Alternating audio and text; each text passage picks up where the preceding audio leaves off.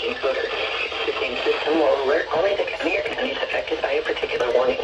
These tests are conducted each Wednesday between 11 a.m. and noon, and again between 6 p.m. and 8 p.m. unless severe weather threatens. This concludes the weekly test. We now return to regular programming.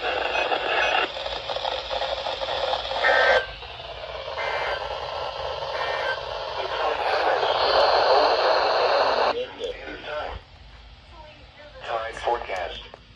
In St. Wednesday at 12:32 p.m. Dang. Of course you activate late. Why frickin' wouldn't you?